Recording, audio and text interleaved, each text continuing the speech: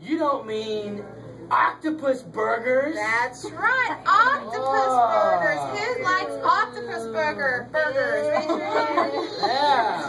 If you like octopus and you like burgers, you'll love octopus burgers. I And guess what else they're having? What else do we have? We're having shark tail stew. Shark tail stew. That's the best. That's your favorite. That's your favorite too. Man, a kid after my own heart. You know what? How about we invite all these kids to come eat with us?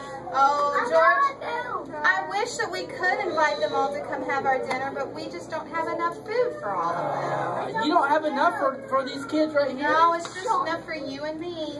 Man, what are we going to do? We have just a little bit of food, but I want all you guys to eat with me. It's almost like we need someone to do a, uh, a A miracle. miracle, that's right. Yeah. Who, who can do miracles? God or Jesus, that's right. We can't do miracles. What do you Yeah. think? What do you think that we should do? I oh, think we should go, eat. I think yeah. that sounds good. We will be right back. We're gonna go have our dinner really quick, and y'all just stay here, and we'll be Y'all stay back in a comfy. Mm-mm. I can taste octopus burgers already.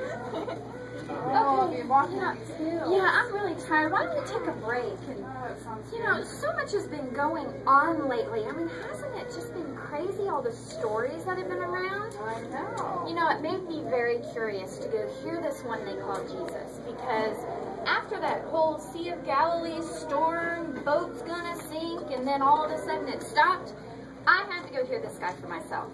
too. I mean, come on, we went to